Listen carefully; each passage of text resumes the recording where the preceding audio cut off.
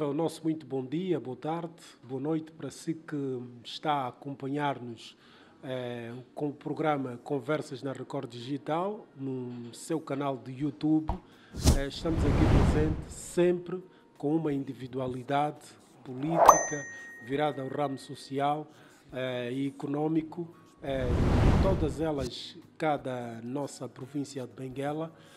Hoje não foge a regra, estamos aqui com o camarada Marcolino, eh, primeiro eh, secretário municipal da Jota cá na nossa hum, província de Benguela, no caso do município. Muito obrigado, muito boa tarde, Record Digital. Eu sou Marcolino Palanga, primeiro secretário municipal da JM Palanga Benguela. Eh, Camarada Marcolino, hum, hoje a dirigir hum, a JM lá no município de Benguela eh, tem sido fácil, difícil? Eh, comenta um pouco conosco.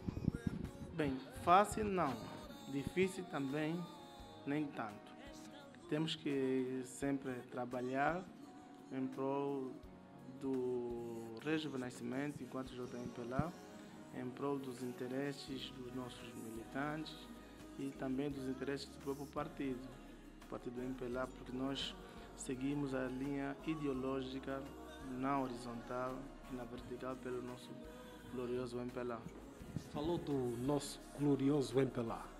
Podes contar um pouco eh, para os nossos telespectadores eh, no programa Conversas na Record Digital a sua trajetória política, como é que começaste? A nossa trajetória até chegamos a primeiro secretário municipal, fomos coordenador do núcleo no bairro da Cambanda, depois fomos catapultados para o secretariado comunal da Zona A, como coordenador da, da, das atividades. A posteriormente chegamos a segundo secretário comunal. Em 2014, fruto do processo orgânico, fomos hum, catapultados para coordenador adjunto da Comissão Municipal de Auditoria e Disciplina. E fruto do processo orgânico de 2019, fomos eleitos no dia 20 de julho a primeiro secretário municipal da JMPLA em Benguela. Para muitos, um jovem promissor no mundo da política. Onde é que quer chegar? Bem, pergunta difícil de responder, mas para dizer que o jovem tem aspirações, tem tendências e tem algumas situações que precisa alcançar enquanto pessoa singular e enquanto pessoa coletiva. E nós não podemos fugir dessa regra. Uh, nessa altura, que nos interessa é sempre trabalhar em prol da JMPLA, eh, tentamos saber quais são os reais problemas que o próprio município afeta, o que está afetado, para podermos, de forma pacífica, de forma interativa e de forma muito conclusiva, conhecemos e tentamos re resolver. A família tem muitos eh, dentro do, deste mundo da política. Quem é que o influenciou a seguir esta via da política? É, é familiar, né? Porque é familiar. O meu pai também foi governante e nós, não digo que estamos a seguir diretamente, mas também estamos a fazer a nossa trajetória enquanto políticos. E assim estamos ainda aqui nessa função de primeiro secretário municipal. Exatamente. Okay. Um, está a dirigir esta, um, esta organização, a JMPLA, ligada à juventude do partido MPLA. Hoje, a juventude atravessa, digamos, algumas dificuldades, dada a conjuntura que o país apresenta e o mundo. Na sua ótica, quais são os caminhos que os jovens devem seguir? Bem, eh, os jovens precisam, nós jovens precisamos, é, para além dos estudos, damos continuidade também na vida profissional, porque é muito importante estudamos e temos já uma profissão para tentarmos, se não formos enquadrados no Estado de forma direta, mas indiretamente conseguimos fazer algumas coisas para sustentarmos as nossas famílias. Até porque o jovem precisa, o jovem nessa fase eu, eh, são, são pessoas, somos nós que estamos com maior interesse em podermos casar, em podermos constituir família, termos viaturas, termos eh, um conjunto de coisas que precisamos de facto nos impor.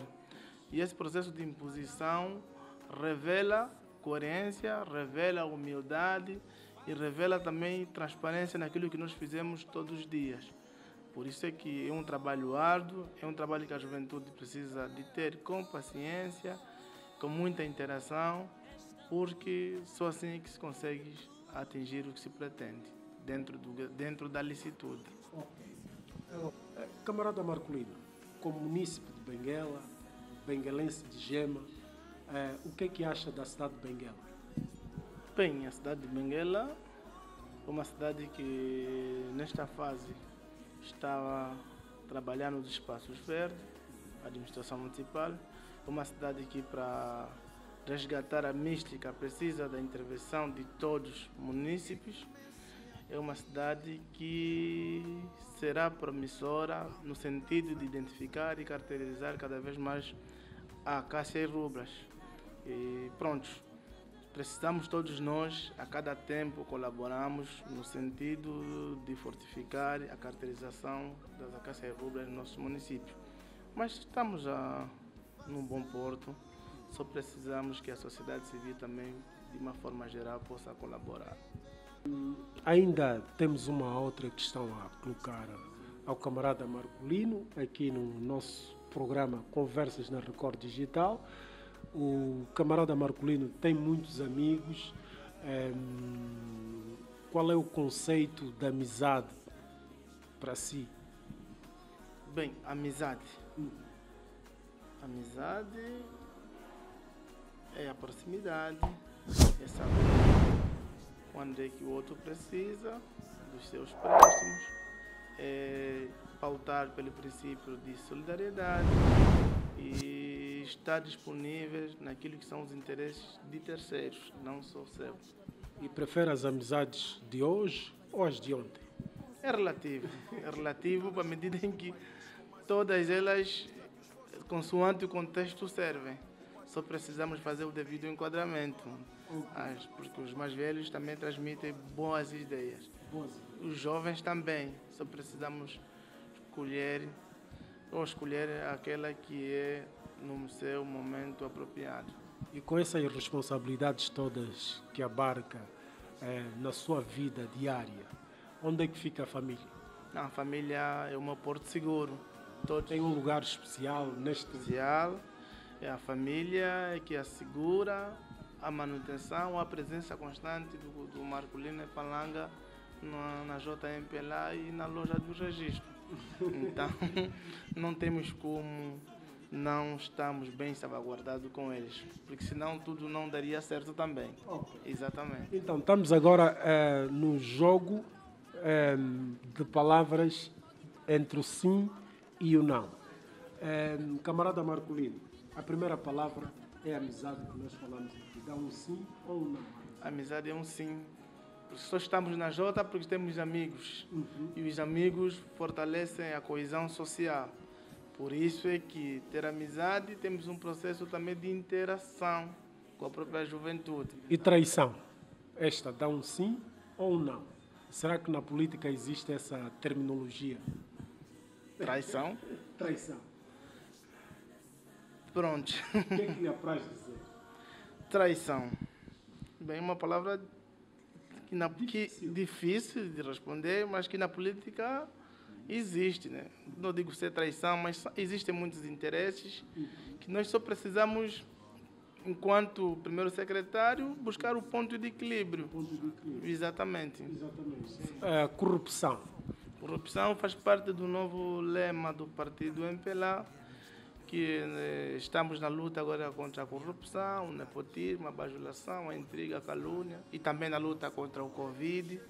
Então, são palavras que não devem fazer parte do nosso dicionário, nem muito menos da nossa, da nossa governação. E falou em governação, para governar é preciso ter amor. Quem tem família também ama. E esta é a palavra que eu peço para Doutor Marcolino comentar. Amor. Amor. o amor. Amor é uma palavra que dá maior abertura com as pessoas, dá maior sentimento e maior também responsabilidade. Temos o amor social, o amor da família e temos que aprender a diferenciar e todos os dias devemos cultivar essa palavra para podermos continuamente darmos o nosso amor na sociedade enquanto vivemos. Política. Política é a arte de fazer o bem, a arte de governar, a arte de prestar serviço. Todos os dias, em cada passo, em cada palavra, em cada sugestão, estamos a fazer política. E precisamos só saber aplicar, saber aplicar, para que possamos também pacificamente fazermos o nosso intervalo político sem muitas inconveniências. E para se fazer política é necessário que haja justiça. Justiça. Esta é a palavra. É um sim ou não? Um sim para a justiça, porque a justiça também intrinsecamente está ligada ao combate à corrupção, ao nepotismo. Logo, uma palavra muito chave como elemento que devemos defender nessa fase crítica da nossa governação e que a juventude espera muito desse mandato do próprio partido. O partido precisa também de fazer um trabalho árduo e nós estamos aqui a par para poder acompanhar e também damos o nosso contributo. Por isso que a JMP lá damos um sim. Ok. Camarada Marcolino, estamos a fechar esta entrevista no programa eh, da Record Digital Angola.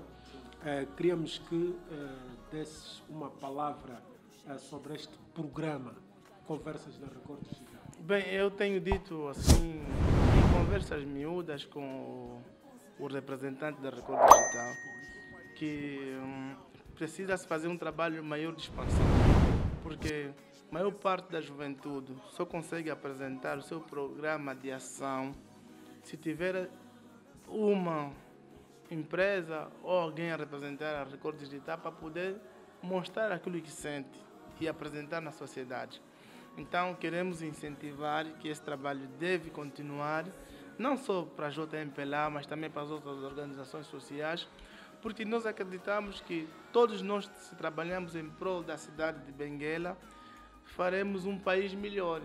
Cada um faz a sua parte e dê o seu exemplo. Conforme dizem, juntos somos mais fortes. Exatamente. Muito obrigado por esta conversas na Record Digital. A JMPL que agradece, estamos sempre disponíveis. Ok. Então terminamos aqui a conversa no Conversas da Record Digital Angola, um programa que você pode acompanhar no nosso canal do YouTube, seguir-nos nas redes sociais Facebook e Instagram. Um forte abraço para si e não esqueça de colocar um like nas nossas páginas. Force!